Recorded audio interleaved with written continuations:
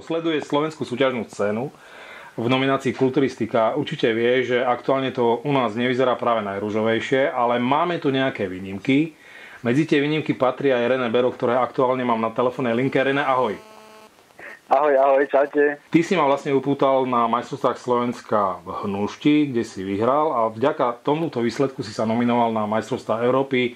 Ja však viem, René, že ty máš nejakú súťažnú minulosť, ktorá začala už medzi naturálmi. Je to tak? Áno, áno, ja som začal už v roku 2012. Uh-huh. Bolo, to, bolo to vtedy ešte vo SNKF. Uh-huh. Tak ako si sa dostal k kulturistike? Skús nám prezradiť. No ja som hrával 10 rokov futbal a vlastne bol som obranca, bol som strašne vysoký, chudý, tak reku v tých osobných súbojoch to nebolo, boh vie čo, tak začnem troška cvičiť. No a jak som začal s cvičením, tak strašne ma to chytilo a už za ten futbal ma potom postupne začal obmedzovať v podstate v tom cvičení, tak som si vlastne určil priority, že ten futbal asi nechám bokom a začnem sa venovať plno tomu cvičeniu. Počuj, ja ťa trošku sledujem, niekde som čítal, teraz neviem, či si to písal ty alebo tvoji kamaráti, prípadne rodičia, že keď si mal 17 rokov, prišiel si za rodičmi a si povedal, že končíš s futbalom, že začneš s kulturistikou a že oni sa ti smiali. Je to tak? Hej, no to som mal 14 tedy akurát, keď som im to povedal, no. Oni sa začali dosmiať, no tak bol som strašne vysoký, chudý, no a to keď takéto mi človek povie, že sa ide venovať cvičeniu, tak tak ich to troška prekvapilo, tak sa začali smieť, no. Ako vyzeral Bero, keď mal 14 rokov? To by ma zaujímalo. No strašne chudý. Predstav si, že som mal 178 cm a 59 kg. Strašne vysoký, chudý, úzke ramena. Uh-huh.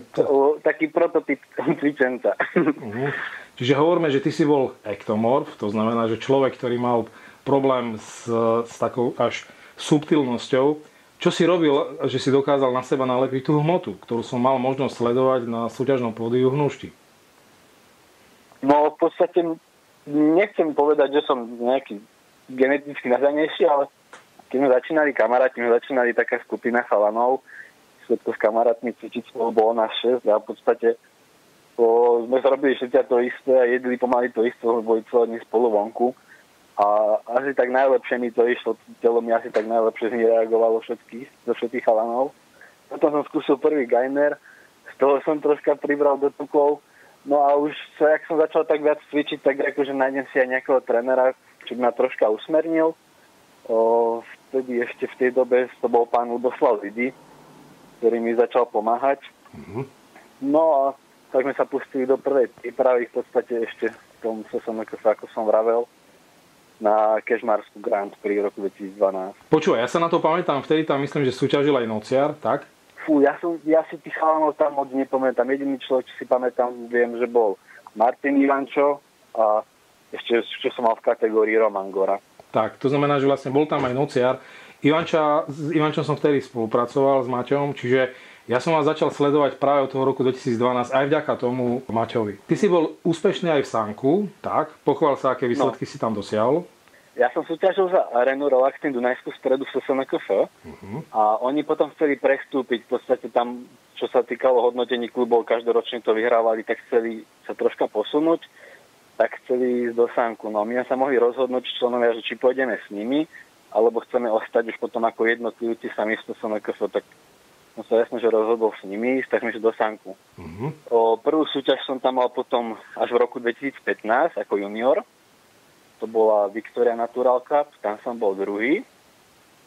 Odtiaľ som sa vlastne nominoval na majstrovstvo Európy v Taliansku. Uh-huh. Je moc dobre nedopadli pre mňa, to som skončil na 7. mieste, to bolo tuším.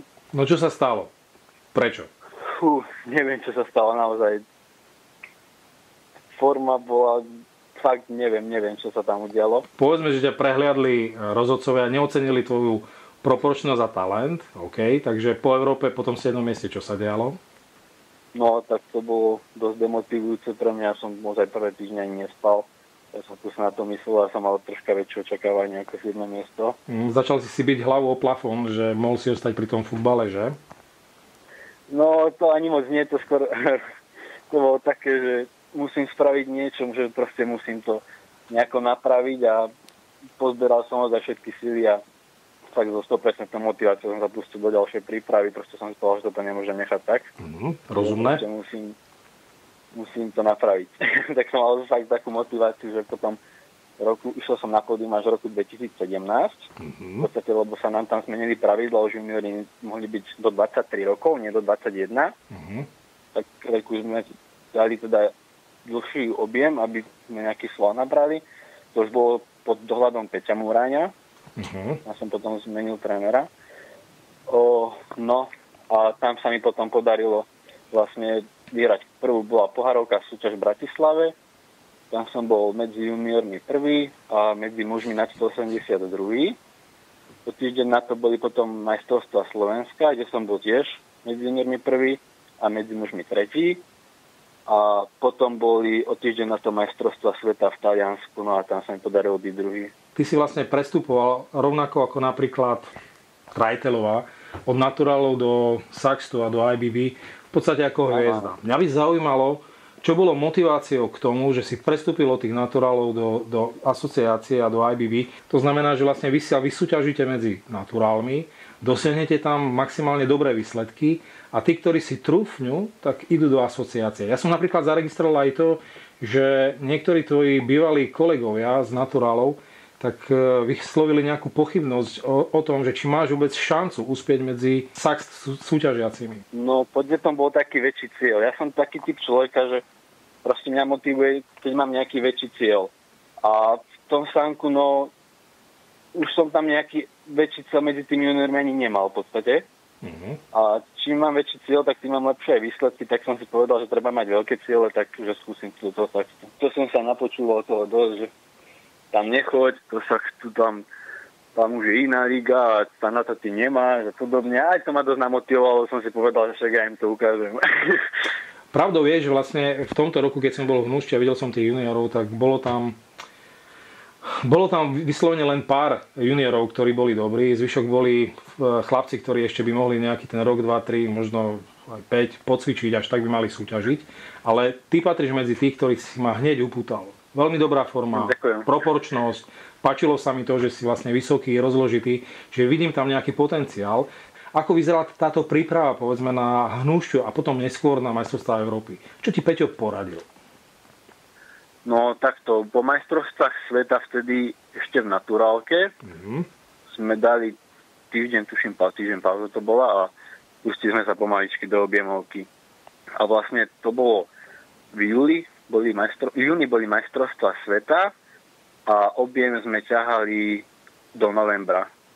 20. novembra, to tuším bolo, tam sme ukončili objemovku a odtedy sme išli ozaj úplne fakt pomaličku kvalitnú dietu až vlastne až na tú hnušťu. Tajomstvom bola dlhá niekoľkomesečná príprava, tak, aby vlastne to, čo si nabudoval, na tebe sa uchovalo. Nech sa to čo najviac udrží a nech pomaličky len ten tuk pomaličky ozaj, že ide dole. Nech to telo, my sme mali ozaj dostatok živín celú dietu. Ja som 3 diety nevládal ujesť to jedlo. Mm, veľmi rozumné. Čiže... Skús, skús mi prezradiť, koľko si mal na vrchole objemovej formy. To znamená, koľko kilogramov, aby som si to vedel predstaviť. No na vrchu objeme tam som mal 100 kilov. Uh-huh. A na súťaži? Nalačno, nalačno 100, da, čo to bolo, cez deň okolo 103 chami hýbala váha. Rozumiem. No a na súťaži vo hnušti v deň súťaže som navážil 88. Čo sa ti v tebe, ako človeku, ktorý začínal povedzme ako nejaký ektomorf, v tej objemovej príprave najviac osvedčilo? Osvedčilo sa mi asi veľa sacharidov uh-huh. a zdravých tukov. Kdežto keď som ešte nespolupracoval s Pečom Muraňom, tak zdravé tuky som vôbec ani nejako neriešil. Uh-huh. To len bielkovými sacharidy ale Peťo v tomto naozaj odborník, on to vie tak nastaviť, aby všetko bolo, jak má byť a to za to môže ďakujem. O, z tréningov sa mi páči, strašne sa mi zalúbil systém 3 plus 1, to som dovtedy nerobieval, čas, keď som necvičil s Peťom. V podstate do troch dní celé telo, on deň pauza a znova.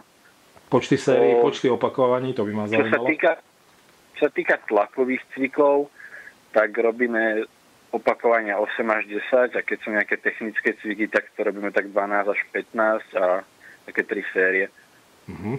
Čiže vždy to kombinujeme, vždy máme nejaké tlakové cviky a vždy to potom dotlačíme nejakými izolovanými cvikmi. No na chrbát mám najradšej hraždu. Čo je základ? Hej, hej. Ako nič také špeciálne, všetko to základné cviky, nešpekulujeme so žiadnymi blbostami. Priťahy jednoručiek, priťahy veľkej činky, nejaká klacka do toho, ozaj fakt základ.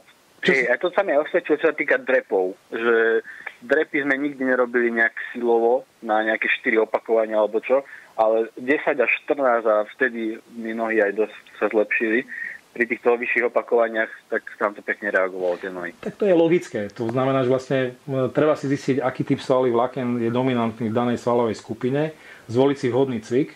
Kto ti pomáha s voľnou zostavou? Pochval sa. O, s voľnou zostavou mi pomáhal Boris Benčat.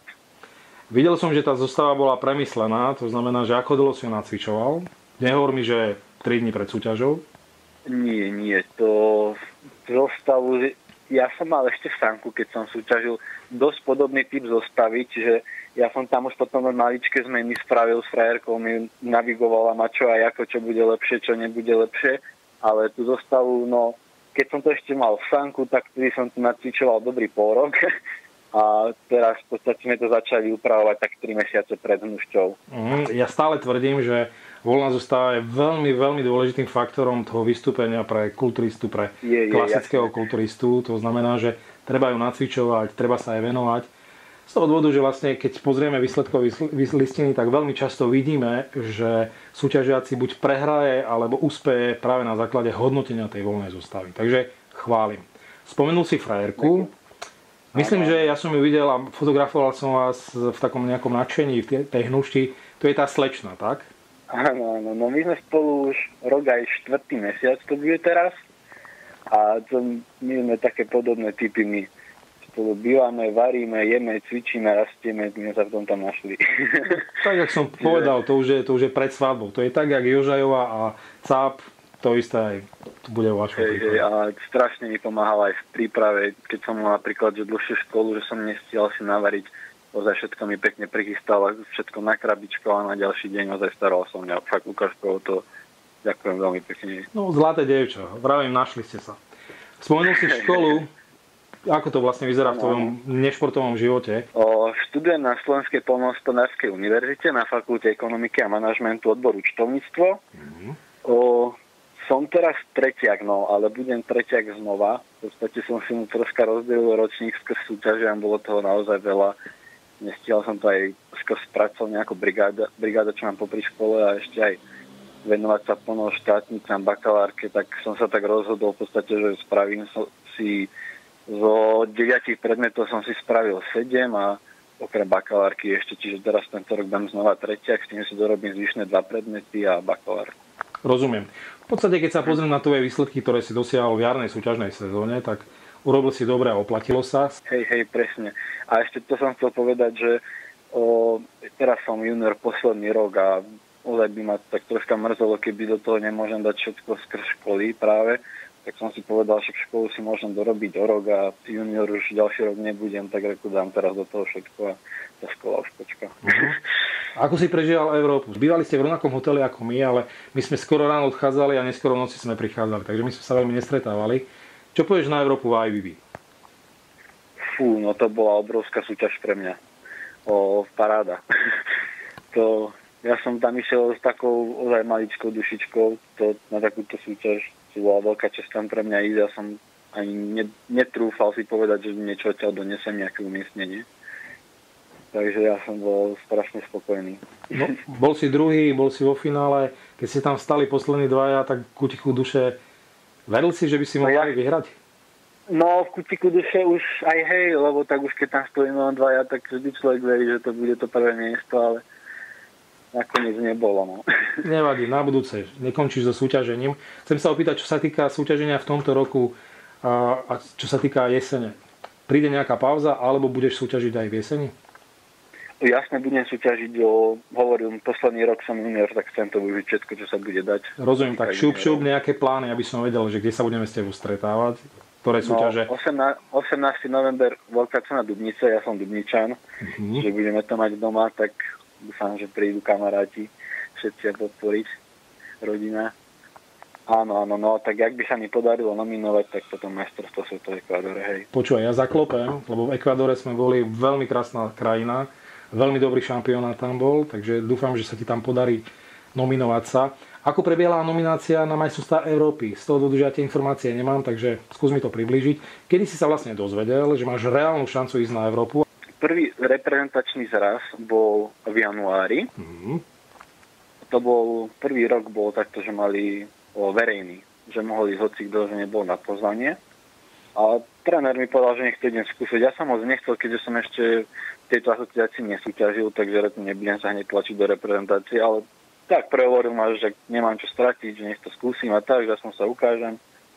Tak reku, dobre, no tak išli sme tam a tam sme vlastne odpozovali, vy ste videli a potom sme išli na osobné pohovory a už tam mi povedali, že v podstate je to dobré a že keby to pokračuje tak ďalej, že tak je tam reálna šanca uh-huh, to po, do reprezentácie. To povzbudí potom, určite?